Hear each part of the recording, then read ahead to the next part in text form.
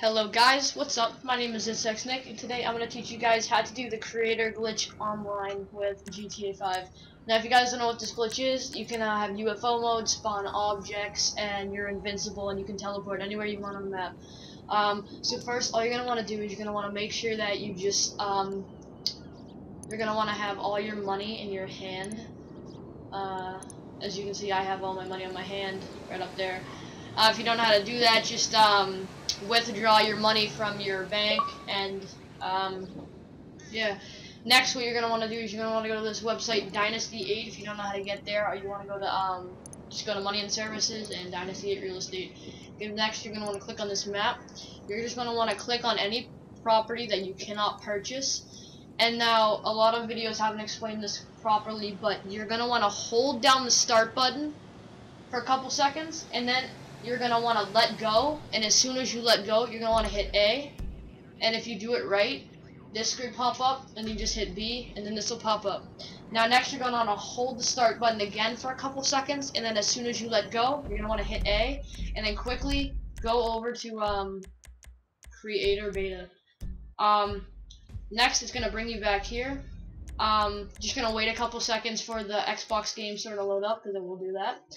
Uh, once the screen loads up, just hit B, create a deathmatch, go to deathmatch. Um, if it's done right, it'll resume back to the normal time, like I just did here. Um, sometimes your screen might get stuck in the beginning of it, and um, all you have to do is just hit the select button to go into um, normal mode. Uh, yeah, but first, uh, before you can start placing things, you just gotta place down a trigger, so just go anywhere. And then uh, next you can throw down um, barriers and anything. Uh, there's a couple things you need to know though.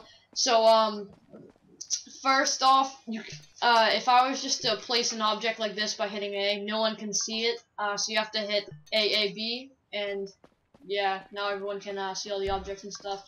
Um, another thing, they cannot see vehicles and weapons, so if I was to place down this vehicle, uh, they can't see it, I can't get into it, or anything like that. Um, yeah.